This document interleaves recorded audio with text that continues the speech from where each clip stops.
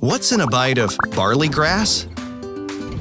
There's flavones, which protect cells from microbes and promote antioxidant and anti inflammatory activities. Biotin, which transforms nutrients in food into energy and aids genetic activity. And riboflavin, vital for energy production, cell function, metabolism, and growth and development. Start including barley grass in your diet or in a whole food based supplement.